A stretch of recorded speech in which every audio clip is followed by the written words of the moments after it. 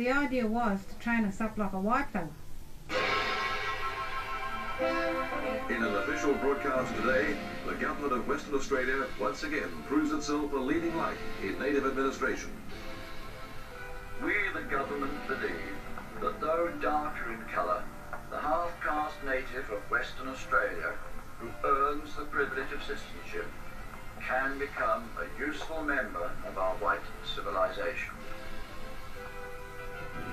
In order to be eligible, the native must first prove that he is ready to meet his new challenge.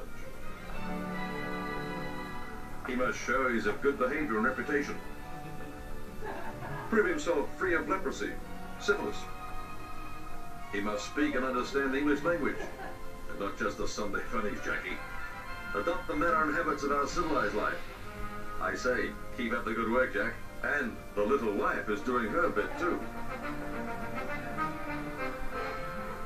We in the government know that if the native is to be saved, he must be absorbed by us, culturally, socially, and economically, into our way of life.